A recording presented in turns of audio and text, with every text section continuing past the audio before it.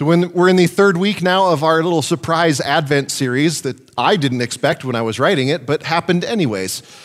Two weeks ago, I talked about how when God does something new, it's usually not what we expect. It's usually something better, but it's not what we expect.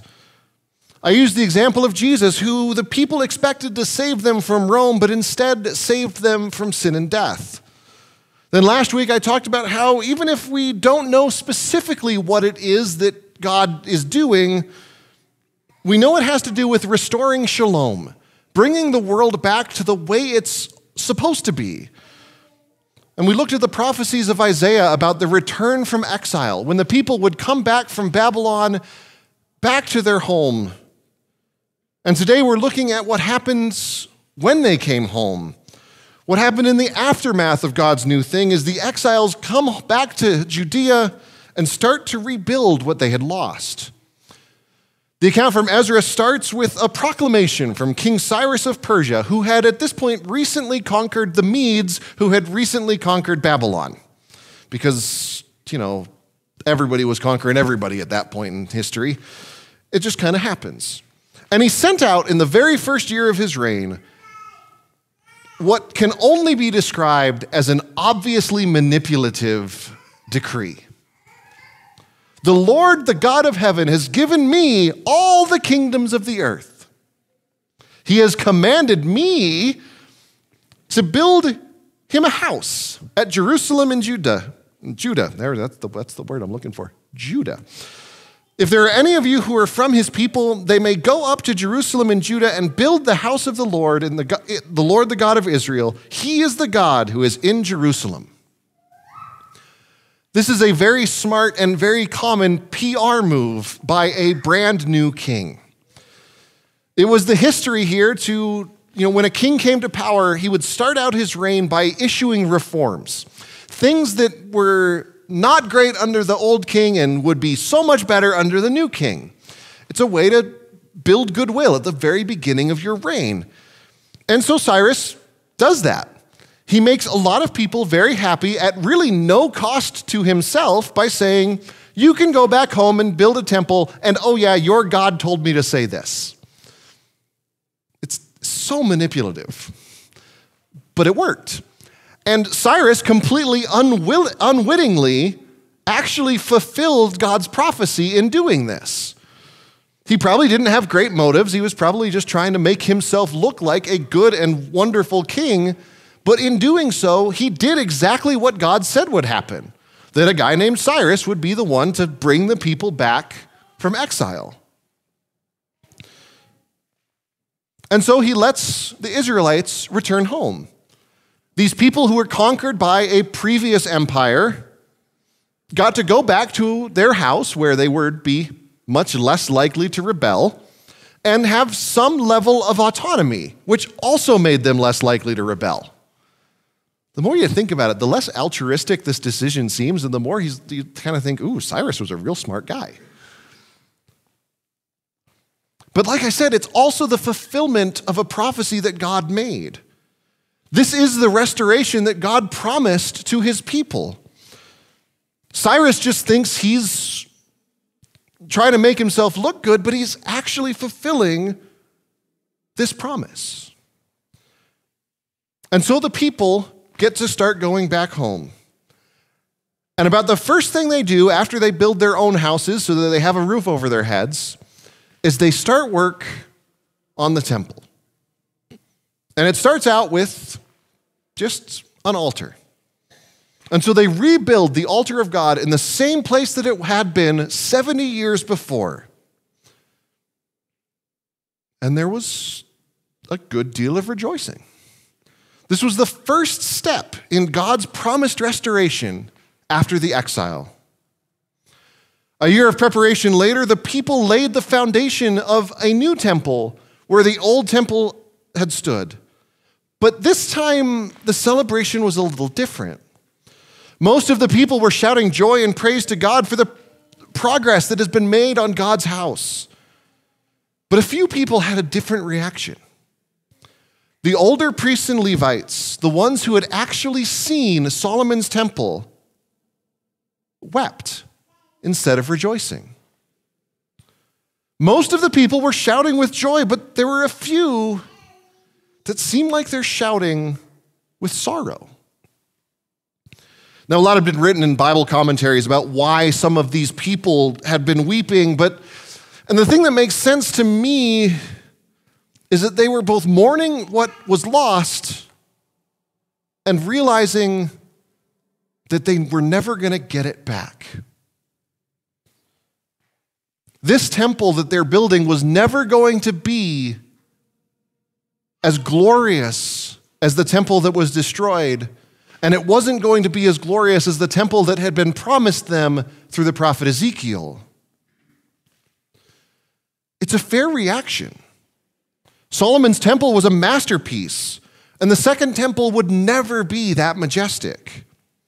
The first temple held the Ark of the Covenant, that box that was God's footstool, that contained the tablets of the Ten Commandments, Aaron's staff, some pieces of manna, contained things that had weight and meaning to the people of Israel.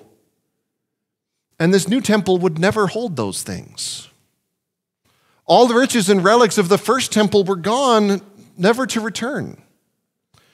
The new temple might have some of the same rooms and the same layout and the same basic things, but it wasn't the same. And for the people who had seen the original temple, laying the foundation just made that realization come home. And then, of course, there was the prophecy in Ezekiel about a new temple, a new temple that was even grander than the first one. And they could tell from the foundation that it wasn't going to be that temple either. And so they mourned that loss. While most of the people around them were rejoicing, their reaction was, it's never going to be how it was. Sometimes, as I feel like as we live as Christians in this world, we often have the same reaction. The world around us is changing far quicker than it has ever changed before. And the church is having trouble adapting to a situation that it's never been in. And we often have the same reaction that those people witnessing the temple being rebuilt had just a great sadness. We're living in what can only be described as a post Christian world and we don't know what to do. The church has lived through a pre Christian world. That's what we exploded into most of Europe in. We've got used to living in a Christian world where it was generally assumed that everybody went to church somewhere and sure they might go to a church down the street but they're still going to a church somewhere and the first two questions you used to ask when you meet somebody was where do you work and where do you go to church but now that's not really how it works. It can feel a little bit like we're in exile. And many of the systems that we've come up with on how we do church together just aren't as effective in a world where more and more people don't identify themselves as being Christian. It's a hard reality to face, and we are right to mourn it.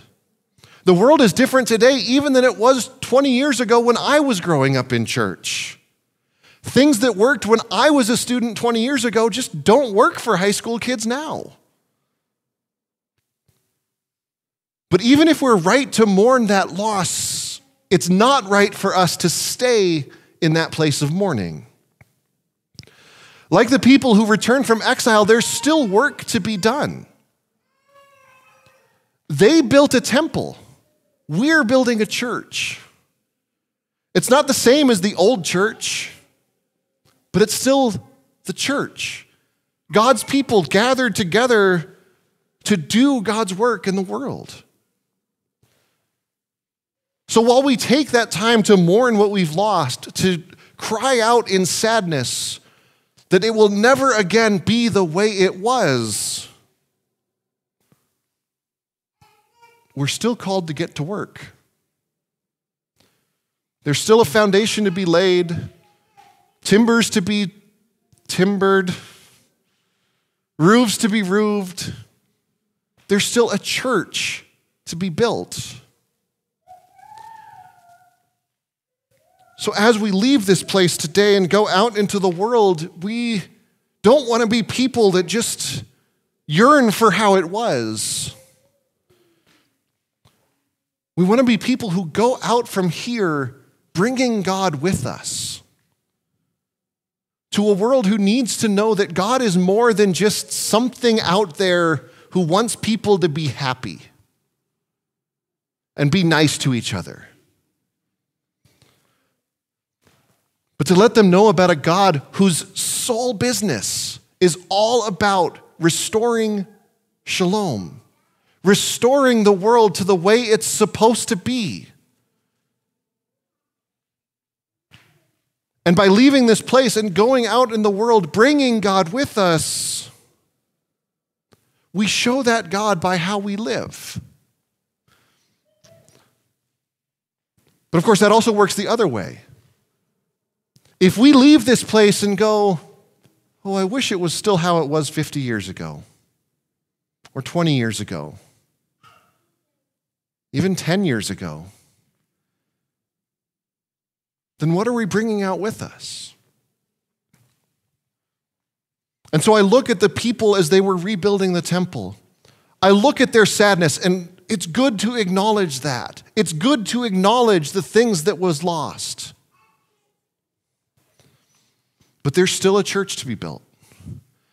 There's still God's work to do.